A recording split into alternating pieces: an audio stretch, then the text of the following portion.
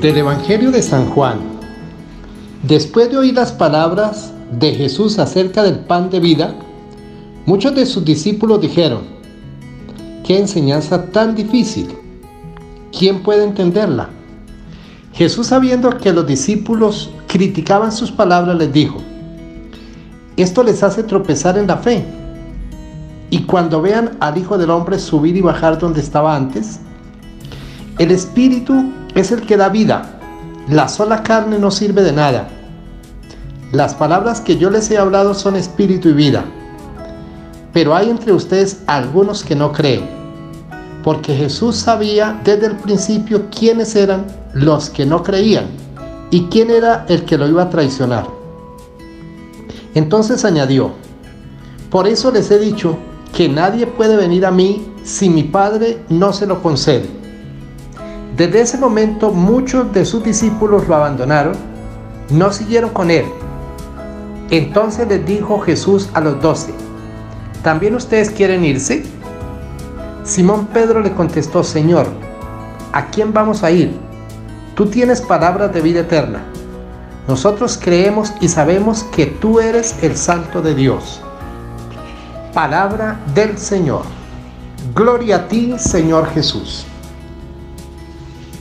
Mis hermanos, en la liturgia de la palabra de este día se nos manifiesta el amor de Dios a su pueblo y el amor de Cristo a la iglesia.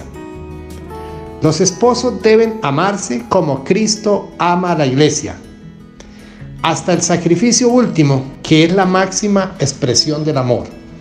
El libro de Josué y el Evangelio presentan una escena parecida.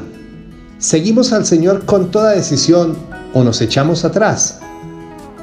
El Dios de la Biblia es misericordioso, pero no contemporizador. No se va a las medianías. Jesús afirma tajantemente, el Espíritu da vida, la carne no sirve de nada.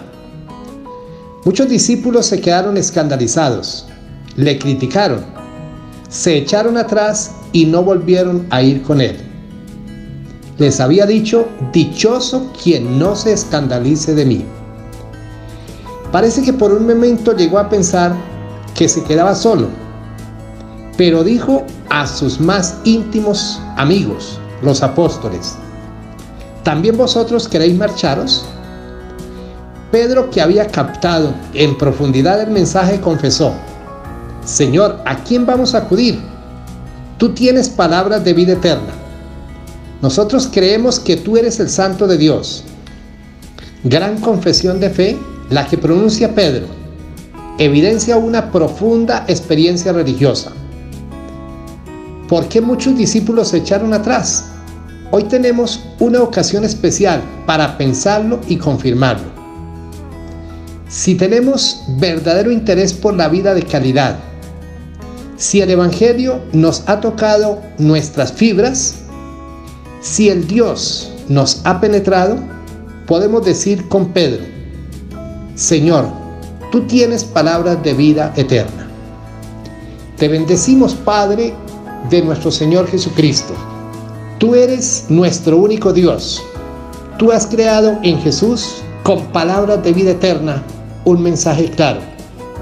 Tu mensaje espiritual cautiva y atrae nuestra adicción. Hemos experimentado que tu amor no tiene límite. Eres una bendición constante para nosotros. No te abandonaremos jamás. Ojalá sepamos ser testigos de la buena noticia. Gracias Padre por el pan vivo bajado del cielo. Gracias por el Espíritu que nos llena de comunión. Gracias por la confianza que nos inspira. Sabemos que valoramos tu reino. Necesitamos tu ayuda. Gloria al Padre y al Hijo y al Espíritu Santo, como era en el principio, ahora y siempre, por los siglos de los siglos. Amén. Señor nos bendiga, nos guarde de todo mal y nos lleve a la eternidad. Amén. Feliz y bendecido domingo en el Señor.